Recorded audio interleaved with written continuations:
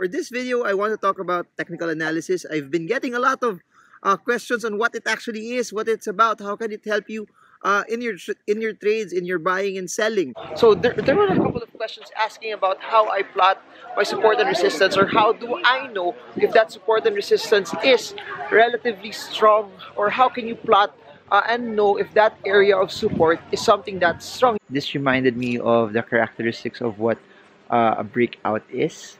Thank you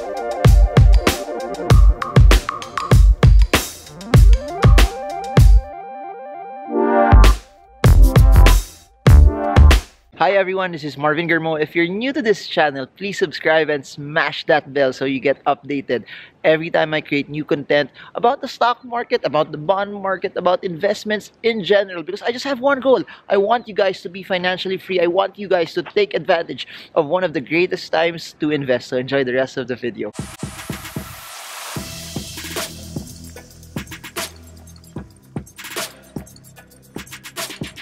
So this is part of our continuous videos on stock investing to help you uh, make the most out of your money to help you uh, reach your goals of financial freedom. So for this video, I want to talk about technical analysis. I've been getting a lot of uh, questions on what it actually is, what it's about, how can it help you uh, in your in your trades, in your buying and selling.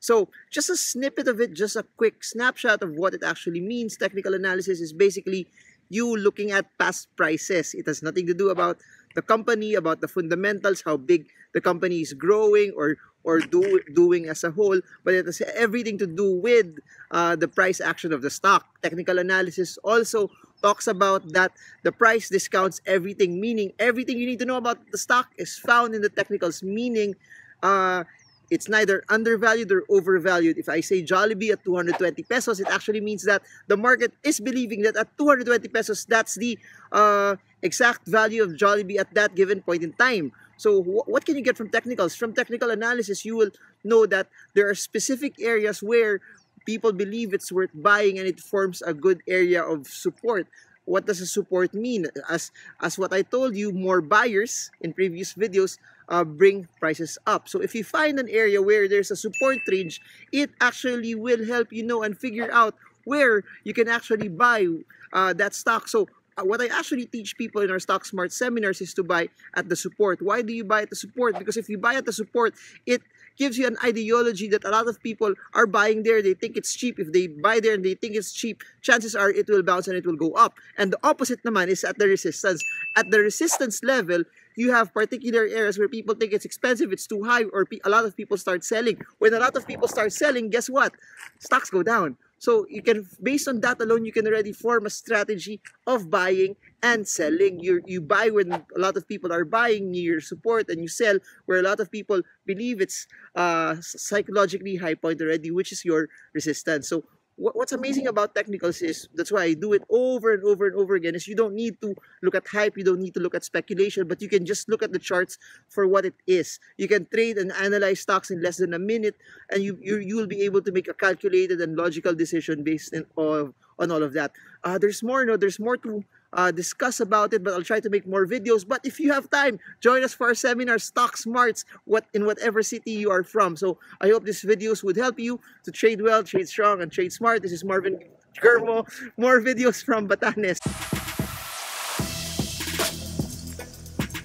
Everyone, good morning from Nami Island here in South Korea where we continue to make videos on the basics of stock trading and investing with the goal and the heart to help you reach your goals of financial freedom. So now I'm going to try to answer uh, a couple of questions that have been sent via my website marvingermo.com no so there, there were a couple of questions asking about how I plot my support and resistance or how do I know if that support and resistance is relatively strong or how can you plot uh, and know if that area of support is something that's strong. You have to remember this though, uh, when it comes to technical analysis, it's not just a science or uh, a mathematical model on how you uh, plot. No, it's also an art in a sense that there are it's it also shows more about who you are as a person. It shows your risk tolerances, your time frame, your timeline, and the gains that you're willing to make. So what does that mean? The way I would draw it is it would be different from the way you would draw it because you already have preconceived biases on how you plot your timelines as well and the risk and the uh, object of entry on where you want to come in and out of a stock. So how do you plot it? Just just look at it from a concept of uh, market psychology. What do I mean by this? Of course, support is an area where there's a lot of buying that's happening. A support is an area where there's more buyers than sellers. So try to find a portion in the history of the chart that you are looking at where as the stock start to drop down, it, it forms some sort of a support range. When, when a stock start to go down, it forms some sort of area where the stock uh, cease to go down anymore. Why does it cease to go down? Because there are people who have started to buy the stock. You have to remember when it comes to stock trading, more buyers bring the prices up. So it hits a level of support when the stock goes down, but because there's a level of buying there, buyers, investors prevent the stock from going down as well. So please remember this. Buyers want to buy low, sellers want to sell high. So the fact that it does not fall anymore, it means that buyers are okay with that price already and they're uh, they're willing and they believe that price is relatively cheap already. So when people think it's cheap, it the stock or whatever market you're trying to analyze will fail to go down already. So look for that historical area. Look for that area in the past portions of the chart where the stock fails to go down then look for another point, another area in the chart where the stock does not go down anymore. So what, what do I mean by this? One area plotted to another area where the stock does not go down plot them together, connect those points together, and it will form a line. That line can be your support level. So uh, how does this work? The more touches it has, when you start drawing a line, when the stock goes down, up, down, up, down, up, when it when it goes down and it touches a certain point, touches a certain line, and, and it fails to uh, to go down anymore, plot those two together, plot those lines together, and that will be your support. The more touches it has, the stronger the support is. The more touches it has historically, the greater the ability of that stock to actually bounce from it. Uh, and the longer the support line is, if that support line hasn't dropped that uh, range for years already, the stronger and the larger the sense or the semblance that you have that it will actually bounce. So please remember this. The longer the time frame, the stronger the support is. The shorter the time frame, the weaker the support is. So that's how you can gauge your trades as well.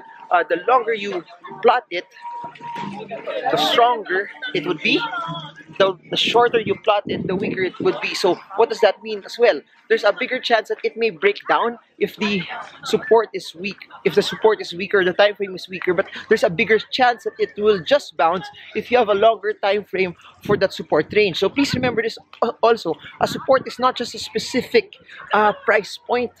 It's a specific range. So it's not just say 10 pesos, it's probably 9.9, 9.8, 10, 10.1, 10.2 because it's it's a specific range. Those who use support and resistance uh, in their trades you know, are what you call people who do it, uh, who do range trading. That's why it's not specific price, but it's a specific range where you could possibly uh, go through it and go through your your trades as well. So that's it. Look for look for areas in the past.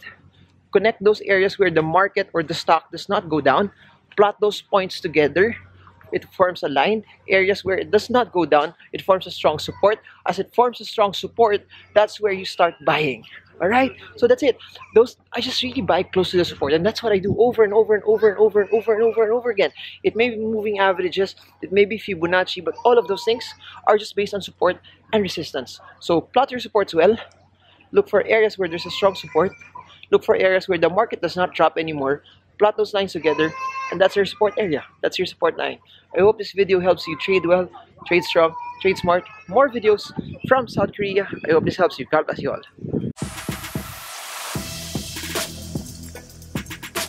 Hi guys. Good morning. We're still here in iceland. We're in the southern part of uh, the country. As what my wife said we're in the golden circle tour. Uh, in my back is a geyser uh, for those who don't know uh, what a geyser is. Uh, there, it's it has boiling water at the bottom, uh, at the very very uh, low part of the ground, no, and as it boils so strong and hard, uh, every six and seven minutes, uh, water starts gushing out. Our, our tour guide told us it's like 300 degrees Celsius in, in boiling temperature. So uh, that's something very, very hot. And the unique quality of it is it stays in liquid form even if it's uh, at 300 degrees Celsius as well. Uh, what does this have to do with with the stock market? Uh, while, while our tour guide was going through stuff, no, uh, he, this reminded me of the characteristics of what uh, a breakout is. Uh, a breakout is a price movement through an identified uh, level of resistance. But when, but when a breakout happens, the previous uh, resistance now becomes the new support. Uh, the thing about that is, uh, as the stock breaks out from the resistance, the resistance ha has a small opening with a large amount of pressure where buyers overwhelm the sellers, which uh, allows the stock to push up and move up on a very, very high uh, speed. So, for those who are new to the stock market, this becomes a buying opportunity for you when stocks start to break out, when stocks uh, approach the resistance, but the resistance gets overwhelmed and you see a large amount of uh, buying take place, you would see the stock starts start to go up. So uh, this normally happens from a news perspective or a uh, sentiment standpoint when there's a lot of either game changers that would happen, uh, mergers and acquisitions, uh, better than expected results, better earnings, uh, company acquires another company, or there was a negative item that suddenly was resolved. So there's the geyser. There's that's how high it was. No, it erupts uh, fast and suddenly. So you see how strong uh, the movement was. So that's how it is. That's how a breakout normally works. Uh, you see over there, that's how a breakout normally works. It's strong, it's fast, it zooms up, it causes prices to go up on a very, very fast duration, like what you saw on the geyser at the back. I'm not sure if it was as clear in the camera, but as you see, there's strong surge, strong movement, a strong, uh, strong, strong surge of the water caused it to zoom up. And that's what happens during a breakout. Uh, the thing about breakouts is people uh, don't want to buy it because it's high because it's expensive uh, and you have to understand this that's what happens when you trade in technicals that's what happens also when you trade uh, breakouts. It normally will be high but you are not buying it because it's high but you are buying it because it's the new support because people are willing to buy it higher. And be, and because from a technical aspect the resistance has transitioned into a market where there's more uh, buyers already so if a stock moves from 8 to 10 8 is your support 10 is your resistance. Uh, should the stock go up and break out from that level uh, 10 now becomes your new support and 10 becomes also a buying opportunity for you. So what makes uh, a breakout unique is that uh, as compared to other as compared to other price ranges uh, you can also buy at the support but since it's the new support you have a large surge of buying happening uh, in those in those areas. So that's it guys. Uh, I just got reminded of how a geyser can actually be connected to uh, support and resistances I just got reminded that uh, there's certain things in in life and in nature that we can uh, relate when we trade the market. So ako, I, I'm a big fan of trading breakouts. I'm a big fan of uh, of buying stocks because of, during breakouts because it has uh, momentum attached to it. What's nice when a stock has momentum it, it zooms up and you get to ride uh, the pressure up as well. So uh, I know this is not this isn't for everyone because uh, buying stocks during breakouts also uh, has a higher degree of risk as compared to buying it uh, when it's retracing down a support level. But uh, with practice and if you do it over and over and over again, and as you've seen no, uh, in the reference of the PSEI, once we started breaking out from 8.1, uh, 8.5 became the new target price. Once we started breaking out of 8.5, uh, 8.9 became the new target price. Once we, if we uh, should have stayed above or we, we stay above 8.9, next target price would be 9.3. So uh, that's how you can do it. it the, the, resistance when it starts breaking out from that can serve as your uh, next target price as well. So that's it for now. We're still here in Iceland. Uh, more videos, more basic videos to uh, help you trade the markets with confidence. This is my wife who enjoyed watching it twice and she's now shivering. Yes? Freezing. Freezing? How cold is it? I can't feel my fingers. You can't feel your fingers. How cold is it? How cold is it? Negative eight. Do you negative eight? Do you want to touch the boiling water? It's this way. Yeah? I don't think I'd feel it. You, you wouldn't feel it, but it's 300 degrees. My fingers are numb. Alright, so say goodbye to everyone. I hope this video helps you trade well. It's. And It's goodbye, everyone, from Iceland. See you all again soon.